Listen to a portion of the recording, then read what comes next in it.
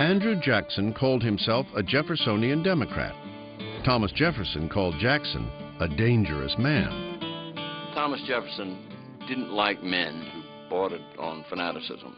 And Jackson seemed to him to be, uh, at best, uncouth and at worst dangerous.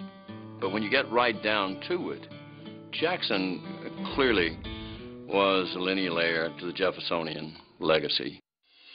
Number seven, Andrew Jackson, Democrat, 1829 to 1837, 61 years old, from Tennessee.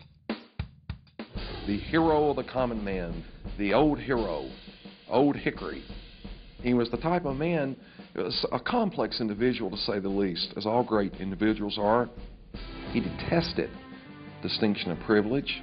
He really felt that he was a voice of the common man. But we mustn't misconstrue this.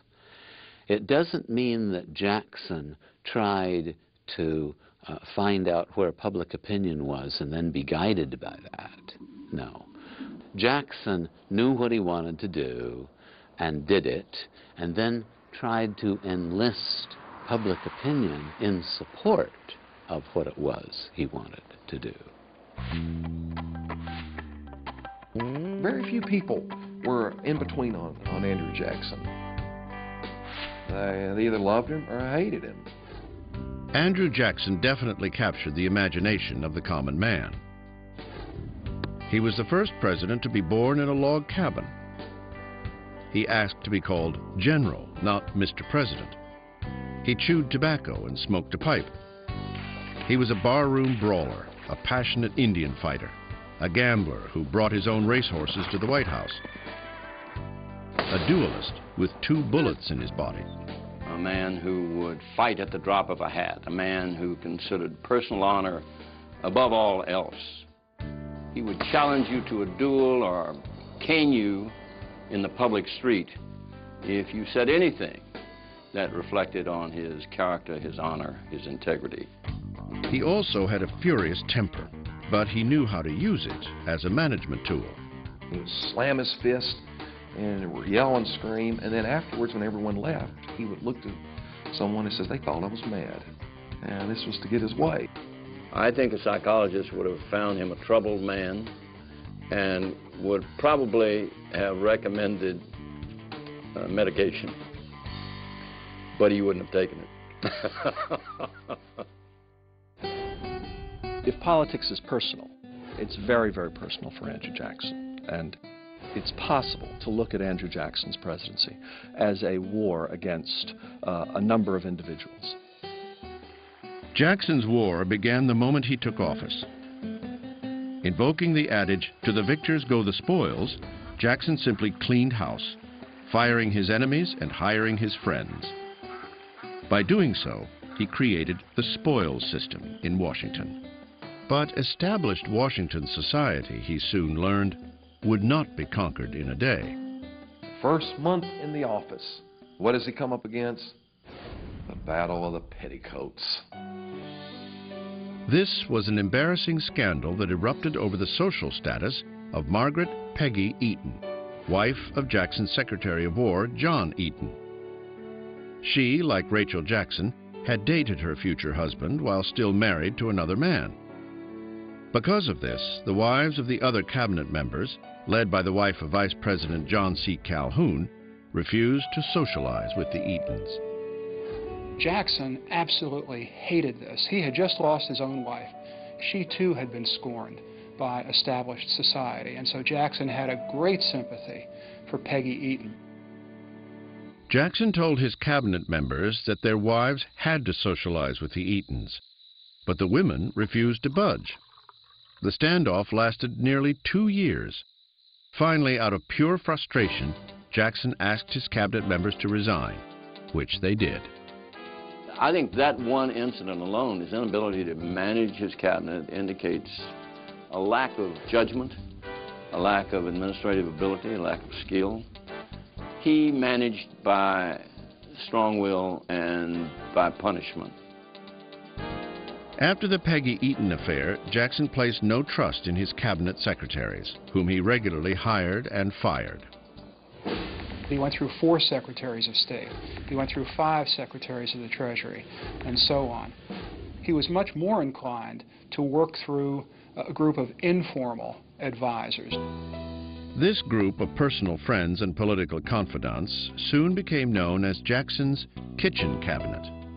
These were newspaper people, these were politicians, most of them, uh, like Jackson, from the West.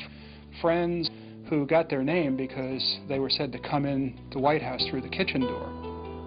Other presidents had relied on personal friends for advice, but never to the extent which Jackson did. This angered his critics, but he didn't care. Jackson was determined to change Washington and America, and he did so with lightning speed. The first major piece of legislation that he recommended and got passed was uh, the Indian Removal Act of 1830.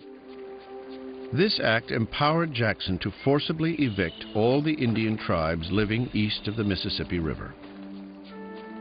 Five Indian nations were directly affected the Choctaw, Chickasaw, Creek, Seminole, and Cherokee. Of the five, the Cherokee tribe, located in Georgia, chose to fight the eviction in a surprising way. Instead of going on the warpath the way their fathers and grandfathers might have done, this generation of Cherokee Indians took Georgia to court. The case went all the way to the United States Supreme Court.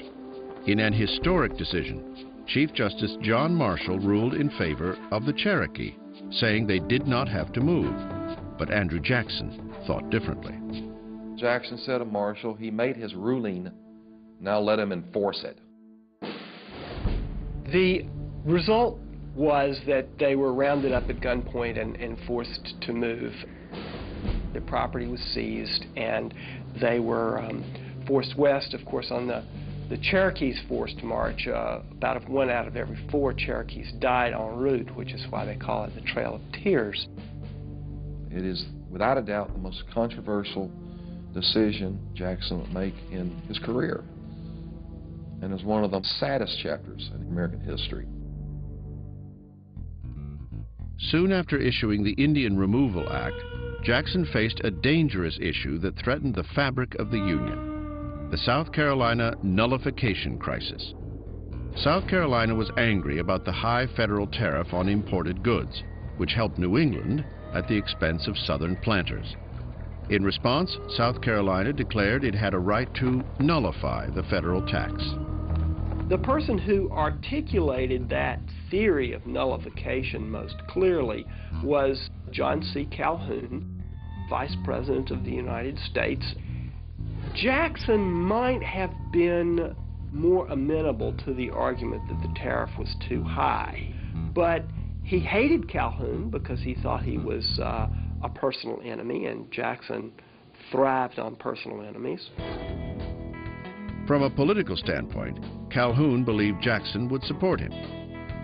They were both Southern planters, but Jackson's personal hatred of Calhoun precluded any political sympathy. Instead, he responded with force. Jackson threatened to have a civil war. He threatened to raise an army, go into South Carolina, hang John C. Calhoun from the first tree. Calhoun was said to have been genuinely scared for his life. But fortunately, cooler heads prevailed. South Carolina backed down, and Congress modified the tariff. As for Jackson, he made it clear that he was the supreme leader of the nation and that the Union was not going to fly apart under his watch. When Andrew Jackson ran for president in 1828, his opponents called him a jackass. Jackson liked the image so much, it became the mascot of the new Democratic Party. 1832, the last year of Andrew Jackson's first term, was a pivotal year in his presidency. After fighting petticoats, Indians, and secessionists, he suddenly faced his most daunting enemy, the Bank of the United States. The bank war was absolutely the central political uh, controversy of his administration. The Bank War began in the summer of 1832 when Congress, led by Henry Clay, renewed the bank's charter, even though it wasn't due to expire until 1836. Clay pushed the bill through for political reasons and presented it to Jackson on the 4th of July. It's not immediately clear that Andrew Jackson has a problem with the bank, but once Henry Clay involves himself uh, in the bank recharter, then suddenly it becomes a battle royal uh, that Jackson has to involve himself in. Henry Clay was also running for president that year, and he was supported by the president of the Bank of the United States, a man named Nicholas Biddle. Both Clay and Biddle believed they could force Jackson to sign the bank bill. If he didn't, Clay would crush his bid for re-election. But the old general outflanked them. He's told that there is a cabal uh, between Biddle and Henry Clay, and once Jackson thinks of the bank in those terms, um, then this is something that absolutely has to be vanquished in his mind. It becomes, uh, in his term, the hydra-headed monster. He said to Van Buren, the bank is trying to kill me, but I will kill it. Typical of Jackson, he personified the bank fight by waging war against one man, Nicholas Biddle. Jackson saw Biddle not only as his own personal enemy, but the enemy of the people. The United States of America wasn't big enough for both Andrew Jackson and Nicholas Biddle. And uh, Jackson wanted to make sure that uh, it was Biddle who lost power. Jackson vetoed the bank bill, returning it with a simple yet powerful note in which he stated, The bill to continue the Bank of the United States was presented to me on the 4th of July. Having considered it with that solemn regard to the principles of the Constitution which the day was calculated to inspire, and come to the conclusion that it ought not to become a law, I herewith return it to the Senate, in which it originated, with my objections. Nicholas Biddle called Jackson's veto a manifesto of anarchy. Jackson called it his mandate for re-election. Jackson saw this as an opportunity to strike out for the power of the ordinary citizen by smashing what he called the monster bank. He saw it as an absolute mandate of the people that he was right uh, and the bank was wrong. In the end, Jackson's popularity won out. He crushed Clay in a landslide, then immediately moved on his mandate to close Biddle's bank. The bank still had four years left on its existing charter, and Jackson said, I don't want to wait four years. In the summer of 1833, while Congress was in recess, Jackson ordered his Treasury Secretary to redirect federal deposits from the Bank of the United States to various state banks. It was a very audacious move, in part because um, it wasn't even clear that what Jackson wanted to do was legal at all. His first Secretary of the Treasury wouldn't do it. He replaced him. The second Secretary of the Treasury wouldn't do it either he fired him. So he went through three secretaries of the Treasury before he installed one who would withdraw the money the way he was told. And when that was done, Jackson's enemies absolutely went ballistic. It was a power play of, of, uh, of ultimate dimension. When Congress returned and found out what Jackson had done, they censured him for his actions the first and only president to be censured. As soon as the Democrats gained control of the Senate, however, they uh, had the censure not merely uh, rescinded, not merely repealed, but expunged, as if it had never taken place. By 1836, the Bank of the United States was dead. Unfortunately, Jackson did not have a substitute for the Bank of the United States, and this would uh, cause a lot of problems in Martin Van Buren's administration. Andrew Jackson's presidential legacy is, perhaps, the most complicated in American history. Without question, he changed the presidency, giving it more power by imposing his will on the economy, the government, the landscape, and the people and by doing so, he forged the future of the nation. Jackson was the only president where a whole age would be named after him. The age of Jackson. And as one journalist would write, that the coming generations would be very proud to be born in the age of Jackson. But for the men who followed in his mighty wake, the age of Jackson would be a very bumpy ride.